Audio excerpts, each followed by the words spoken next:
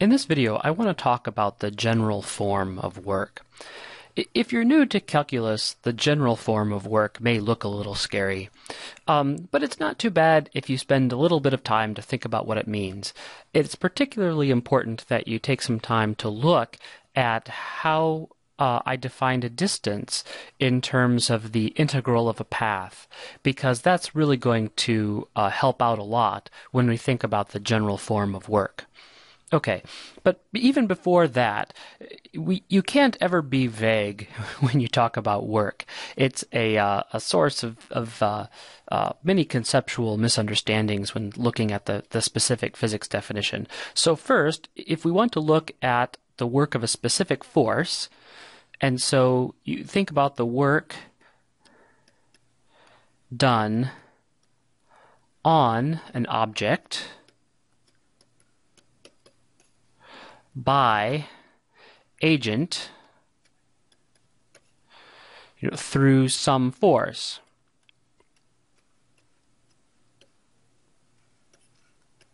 Okay, so it goes back to the way we looked at forces originally, every force has an object and an agent, and you want to be able to identify what they are. So if we're going to talk about work, we need to go through the same process. Okay, so there's going to be an object, and we're going to look first by the, the work done by a specific force, which means there's a specific agent that is doing work on the object through that force. Later on, we'll talk about what happens when there's multiple forces acting and how that relates to work. But first, work done by a single force, which means there's a single agent acting on a single object. Okay. So work happens. work happens.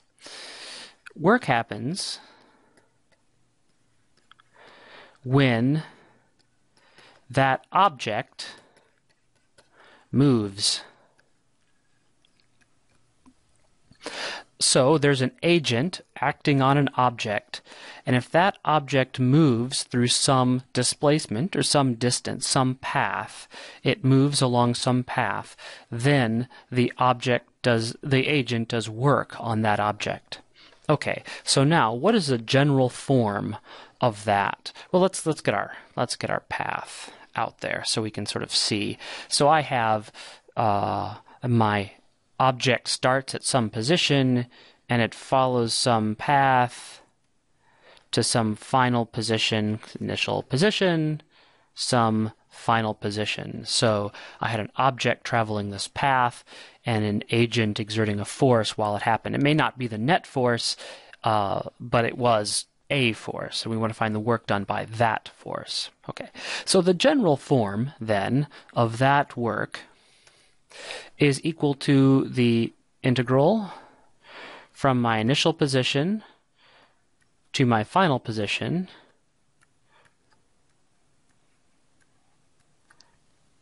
of the force dot ds. This is this differential that I've identified by a vector. Okay. And so our our problem today is to understand what in the heck does this mean? Okay, Th- this is a this is called a line integral, and if you've had uh, multivariable calculus that's all about uh, calculating these sorts of things, uh, we're not going to be getting into that in this course. We're not going to be doing complicated line integrals, but I do want to explore qualitatively what this means and then be able to relate it to the type of work calculations that we are going to do because I think that that's important to know and and uh, it will it will uh, help later on. Okay, so how how do we how do we deal with this?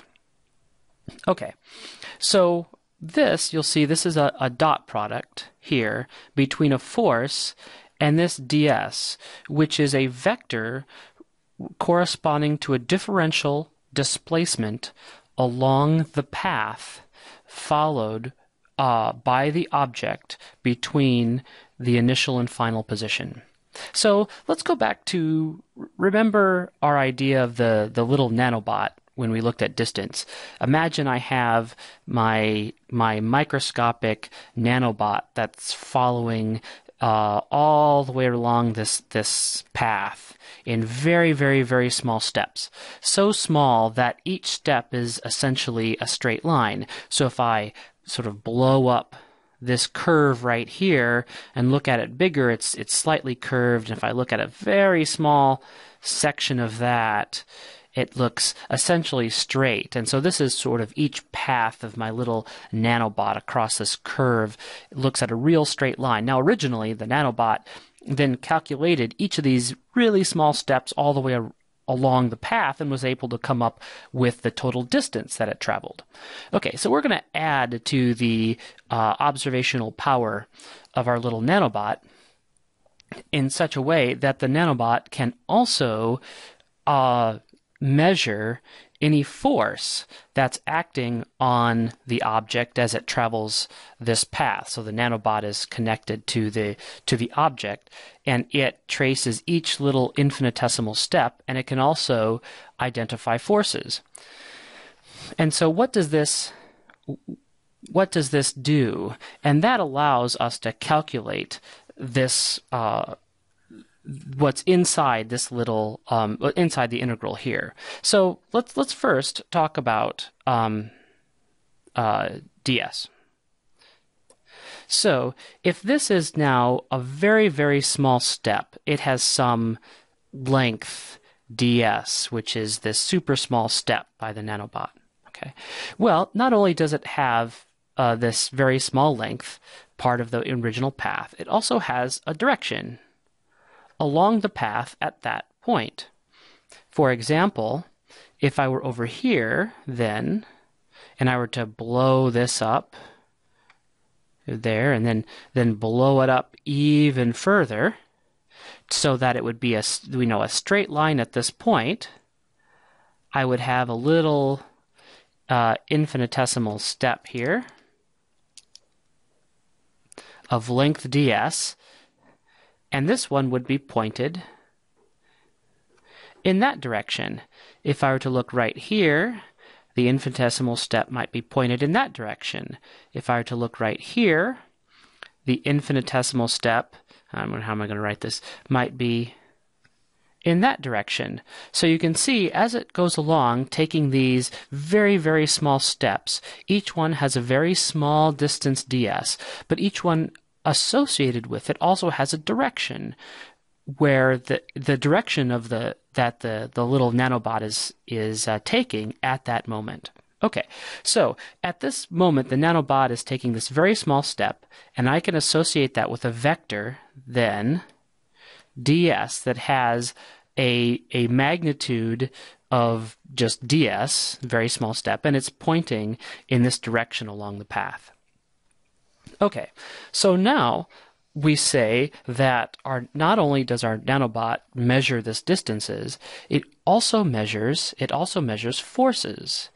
And so it notes that at, at during the time that it takes this step, which is so small that it's in a straight line, and so small that that any force that's acting on the object is constant over this over the time it takes to make this small step or over the distance it takes to make this small step because the step is so small. And so it can measure a force, and let's say it measures the force to be in that direction. Okay.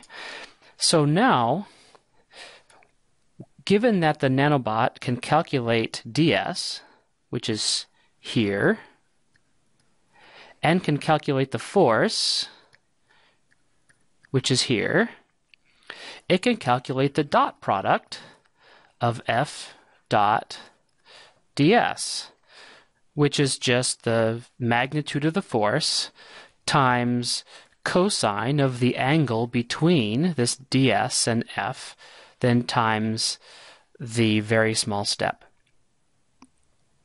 And so, I, I, mean, at the moment, we don't know what that is, but Nanobot does, and, and Nanobot can calculate that. So, what this f.ds is, is for each very, very small step that the nanobot takes along the path, Nanobot measures the force during that interval, which is so small that the force is constant, and so small that the path is straight over that interval. Is that it can calculate the ds vector and the f vector, then calculates the dot product between those two vectors to come up with this uh, scalar uh, number, which it can then store. And then it takes another step. And so another step might be here. It calculates another ds, and then it calculates the force at that time, which might be different. Let's let's bring this down here. So uh, a little later on, it calculates a ds, which is the next step. Say ds is pointing that way, and let's say the next time the f is pointing this way, but it's uh, not quite as strong. It's smaller, but that's okay. It can calculate both of those. It can measure both of those, and then it can calculate the angle between them, and then it can calculate then f dot ds, which is the magnitude of the force times the angle between them times this very, very small step that it took. And so this nanobot is making its way all the way the path, measuring the force at each very small step that it's taking, measuring the displacement vector it's taking at each very small step, calculating this dot product, and then adding it all up. And at the very end, when it makes it to the very end, the sum, it can then uh, read out the sum of all of those very small steps. And so, what? How do we represent that sum? And we represent the sum by this. The integral of all of those little the the calculations is then the work done on the object by this force over that path. Now, one thing to note is that because the the force isn't always a positive isn't always a, a positive number. For example, let's say let's take a look at uh, say th- this segment right here. I'm going to move down here so we have some very small step that uh, gives me a ds. I don't. I guess I'm changing colors here, but gives me a ds at this uh, for that very small step that's pointing in that direction. And let's say at that moment, the force was acting in that direction. In that case, the result, F dot ds, which would be the magnitude of the force times cosine the angle between them. Remember, this angle changes for every very small step, possibly and then that times that very small the step distance and this would be less than zero in this case because theta is, is uh, greater than 90 degrees. And so some of these steps might be negative, but in that case it subtracts from the total. And so Nanobot calculates all the positive uh, um, amounts of this quantity, then subtracts all the negative amounts from that quantity, and at the very end we have the total work that's done on the object by this individual force. Okay, that's sort of a very important qualitative way to think about it. However, I haven't really given you a recipe in how to calculate these sorts of things in general.